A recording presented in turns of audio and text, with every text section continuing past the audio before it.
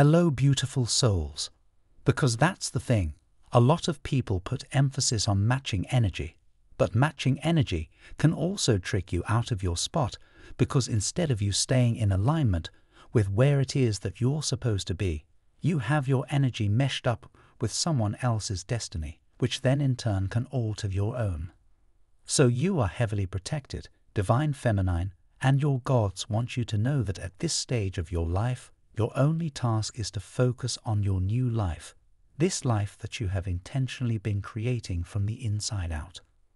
For some of you, you're looking around you and you're like, okay, I don't see these things in my life right now. But if you can feel it, and if you can see it in your mind, you can hold it in your hands. You're being guided to keep pushing towards your new life. For some of you, this has already become evident for you, and it's going to continue to grow and expand. But now you have a level of discernment for some of you. Your world is expanding way beyond your dreams, way beyond your wildest dreams, and you haven't even opened it up to anyone because it's between you and God. But you'll know when it's time for you to expand it, when it's time for you to open it okay. But justice is here, and sometimes we want justice to be loud, we want it to be abrasive, we want it to be. Wow, I was about to say something else. Yeah, but sometimes we want justice to be, you know, loud. It's not loud.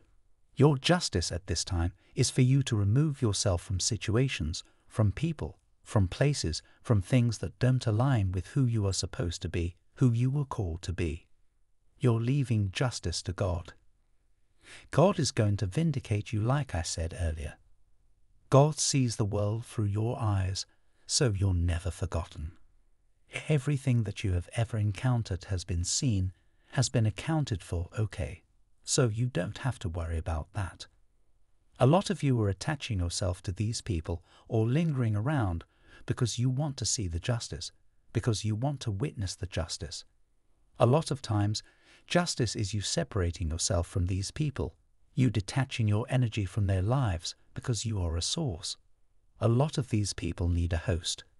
You are a host for a lot of these people, and the minute that you detach your energy, justice will be served. Sometimes it's that simple. When you're that powerful, when you are the divine feminine, it's that simple.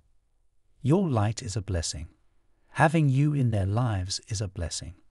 You don't have to do much, divine feminine, okay? There were a lot of people who made you an option in their lives and you disconnected, and now these people have to live with their choice, and they're unhappy about that.